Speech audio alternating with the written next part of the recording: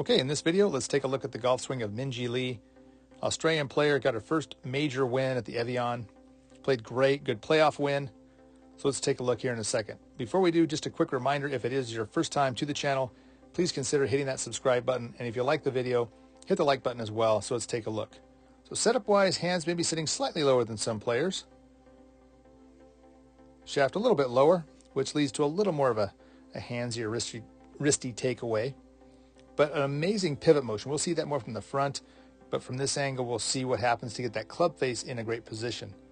So like we said, gets the club going a little more toe up here than some players. A little more of a sort of what we call a cupped wrist at this point. And then at the top, inside the green circle, we will see that change. So a neutral position at the top, and then because the sequence is just so easy to see with her, her great pivot motion, we can see the left knee and the left hip really getting out of there. And as they get out of there and start turning to the left, just watch the belt buckle move, left knee moves, and that wrist goes from neutral to almost slightly cupped in some videos to bowing with that pull coming from the left side.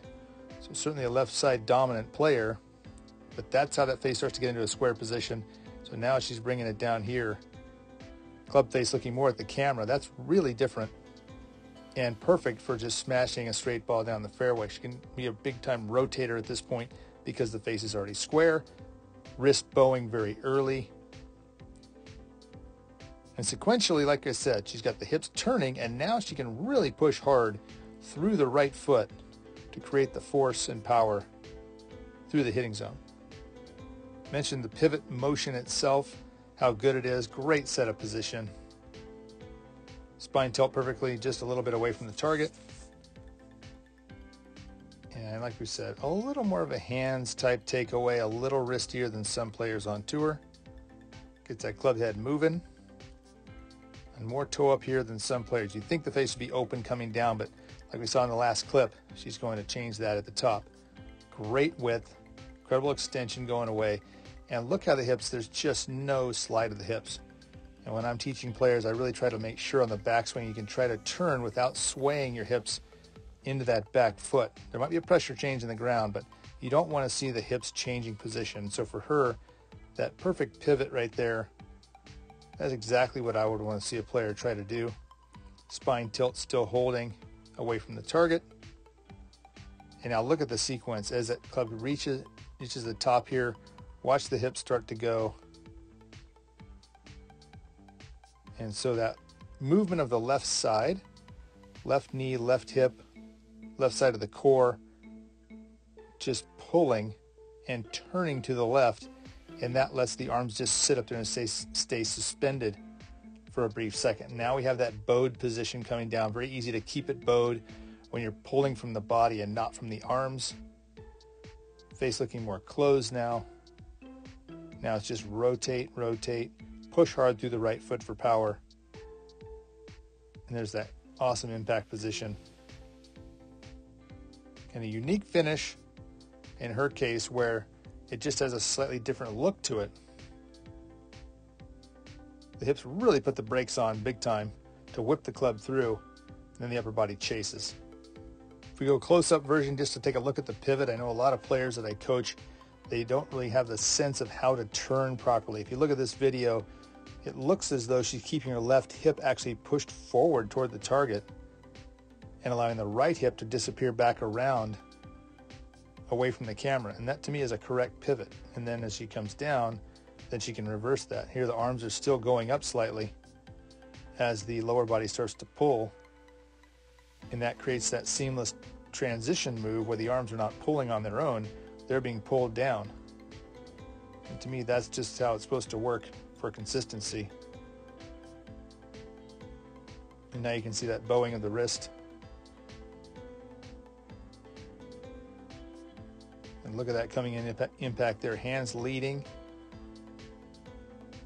Perfect positions with the hands, body, spine. Incredible stability through impact. And no wonder she's one of the best young players on the tour. Taking a look at sequence from a down the line view here, we can really see as that club goes up.